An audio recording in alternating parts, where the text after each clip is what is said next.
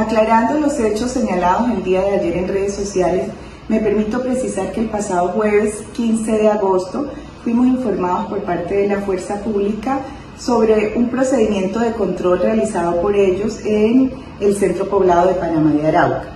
Nos enviaron la documentación que le reportaron los transportadores de los animales a la Fuerza Pública. Nosotros validamos dicha información en nuestros sistemas detectando que el bono de venta, el cual indica la propiedad de los animales, no coincidía con el bono de venta que tenemos nosotros original en el ICA, el cual lo compartimos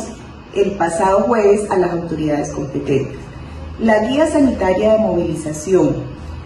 que transportaba los animales fue realizada cumpliendo todo el protocolo establecido en la resolución 8940, la cual establece que el productor se acerca al ICA, diligencia un formato de solicitud, indica todos los datos, es decir, los animales, las edades etarias, el sexo, el nombre del transportador, la cédula, la placa del vehículo y demás información. Fue firmada por el productor que vino a realizarla y se validó en el sistema, contaba con los inventarios requeridos para hacer la guía, se realizó la guía, se le entregó y firmó la planilla de satisfacción.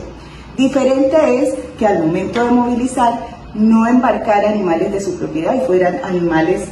de otras personas que son las autoridades competentes quienes están adelantando dicha información y nosotros